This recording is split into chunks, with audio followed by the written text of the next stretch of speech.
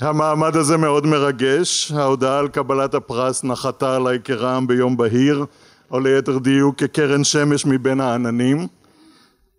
טוב שבניגוד לטקס האוסקר ניתנה לי התראה של חודש מראש כדי להכין את הלב בניסוחו של השועל מהנסיך הקטן. הטקס הזה מרגש הן בשל תנועת יש גבול שיזמה את הענקת הפרס, הן בשל חברת וחברי ועדת הפרס המכובדים, הן בשל מי שיזם את הגשת מועמדתי יהודה מלצר והן בשל מי שעל שמו נקרא הפרס פרופסור ישעיהו ליבוביץ.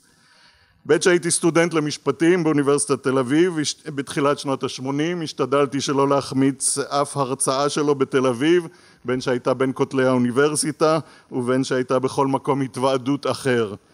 בעקבות אחת ההרצאות אף שלחתי אליו מכתב עם הערה לגבי דבריו על בג"ץ שליט בשאלת מיהו יהודי לפי חוק השבות בכל הנוגע להגהות אין עליי מורא מאיש אלא מוראו של הדין והוא כהרגלו אף טרח להשיב השיב לי בכתב ידו על פיסת נייר מקרית שמצא בבית. יש לי הערכה עצומה לפעילי ולפעילות יש גבול, אני נמצא בקשר מזה עשרות בשנים עם שניים מהאבות המייסדים ומהפעילים המסורים והבלתי נלאים ביותר, יואב הס וישי מנוחין. לפני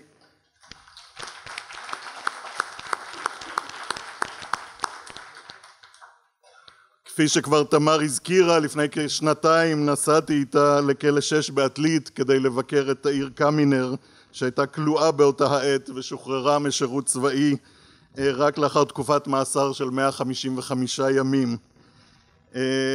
כשיצאנו אמרתי לתמר שסוף סוף נוכחתי לדעת כמה אמת יש בקלישאה החבוטה הזאת באנו לחזק ויצאנו מחוזקים. אני מלא הערצה לכל אותם סרבנים וסרבניות שמוכנים להקריב את חירותם כדי להישמע לצו מצפונם שלא לשרת את הכיבוש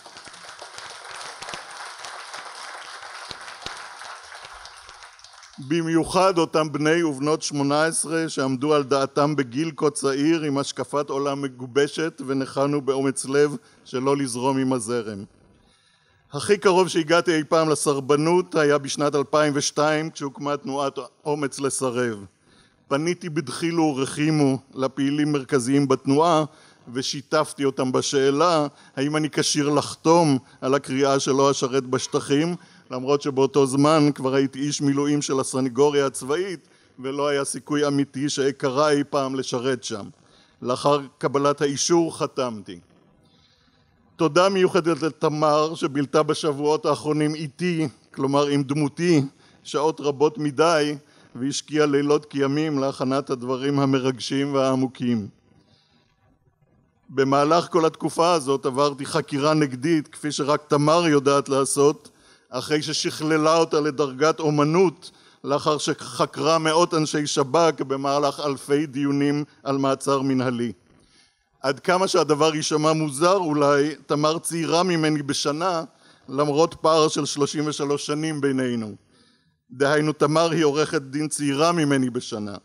למדנו בפק... במקביל בפקולטה למשפטים לפני 33 שנים, אני במסלול יום והיא במסלול ערב שהיה קיים באותה עת.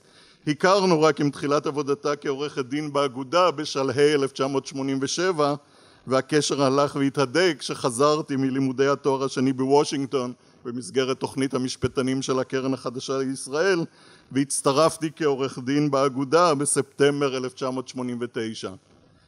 בזכות תמר זכיתי גם אני באותה התקופה לטפל בהפרות זכויות האדם בשטחים הכבושים ולעבוד ביחד איתה על עתירות לבג"ץ נגד גירוש, עינויים, הריסת בתים, מעצרים מנהליים, צווי תיחום מגורים ודרישה לשחרר את העצורים בכלא אלחיאם בדרום לבנון. חשרת אבים מאיימת עלינו, שרת המשפטים דוהרת על D9 ובשיטת עוד דונם ועוד עז מובילה בנחישות את שיירת הסיפוח. היועץ המשפטי לממשלה אביחי מנדלבליט בידו האחת מתייצב באומץ מול הממשלה ומול הכנסת ואומר בבג"ץ בקול צלול וברור שחוק ההסדרה אינו חוקתי ובידו השנייה מוצא דרכים יצירתיות כדי להכשיל, להכשיר גזר אדמות פלסטיניות לטובת מאחזים.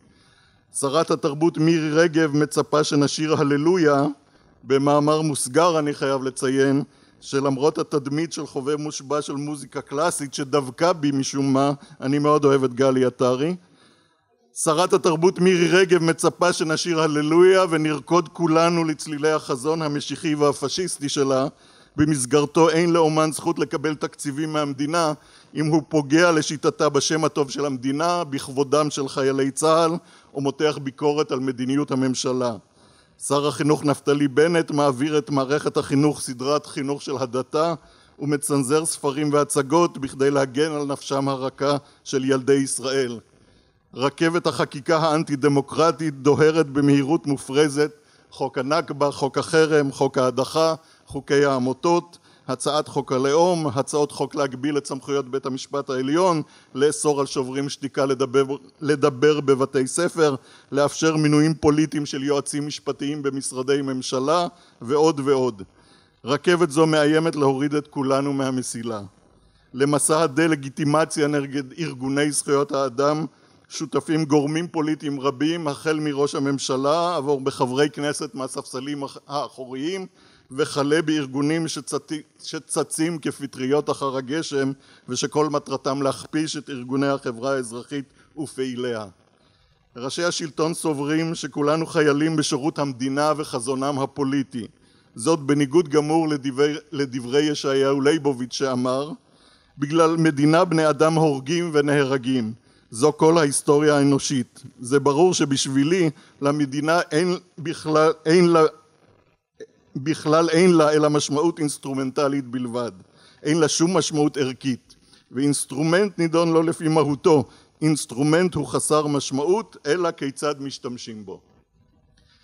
מומחים ישראלים בעלי שם עולמי לתולדות הפשיזם, פרופסור זאב שטרנהל, שהוא גם חבר ועדת הפרס ונמצא כאן עמנו, ולהיסטוריה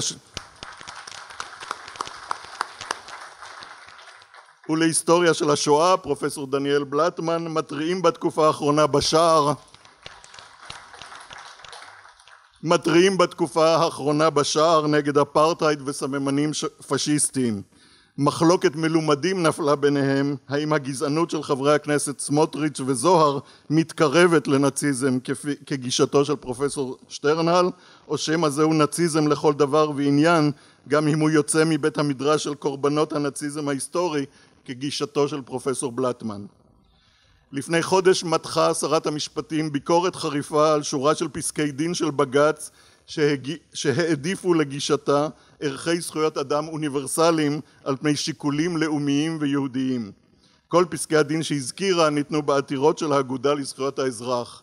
בג"ץ קעדאן, בו זכיתי לייצג ביחד עם נטע זיו את משפחת קעדאן שביקשה לבנות את ביתה על מגרש ביישוב קציר, פסקי הדין בסדרת העתירות שהגשנו ביחד עם הארגונים שעוסקים בזכויותיהם של הפליטים ומבקשי המקלט נגד התיקונים לחוק מניעת הסתננות שייסדו את מתקן הכליאה כחולות גם נגד פסקי הדין שאישרו פעמיים על חודו של כל את חוק האזרחות שמונע מבני זוג פלסטינים של ישראלים לקבל מעמד בישראל היה לשרה מה להגיד.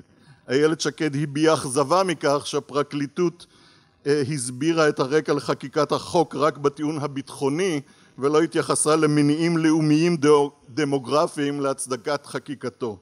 לגישתה הייתה הפרקליטות צריכה לטעון ובג"ץ היה צריך לקבל שיש מקום לשמור על רוב יהודי גם במחיר של פגיעה לא פשוטה בזכויות. אני מאמין ומקווה שלא היה נשמע הטיעון הדמוגרפי לא רק בטיעון שלנו נגד החוק אלא גם בטיעון מצד המדינה בתמיכה בחוק התוצאה הייתה שונה. פסקי דין אלה הם אחד מהכתמים השחורים ביותר בתולדות בית המשפט העליון ואפילו נגדם יש לשרת המשפטים ביקורת.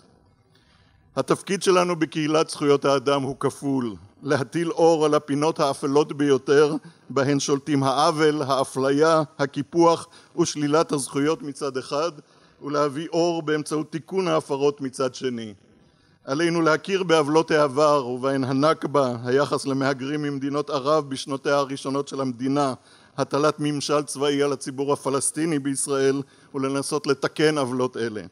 בראש ובראשונה עלינו לטפל בעוולות ההווה ובראשן הכיבוש המתמשך מזה למעלה מיובל שנים. מלבד העובדה שהייאוש הוא לא אופציה למי שחפץ חיים בחבל ארץ משוסע זה, עדיין לא הכל אבוד.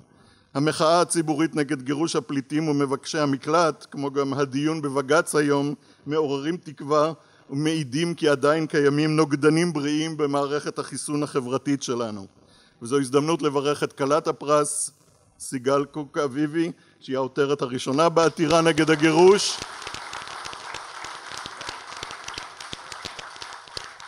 ואת איתי, ואת עורך דין איתי מק, שיזם את העתירה, וגם הוא נמצא איתנו כאן היום, שיזם את העתירה כמו עתירות רבות אחרות במאבק נגד עוולות שישראל שותפה להם בארץ וברחבי העולם. נכון, קשה הרבה יותר לאחד את הכוחות למען הנפת הדגלים האוניברסליים נגד הכיבוש, נגד הגירוש של קהילות פלסטיניות, של תושבי כפר אל-עראקיב ושל פליטים, ונגד העוולות שפוגעות באוכלוסיות מוחלשות כה רבות. אבל עלינו להמשיך במאמצים לכך.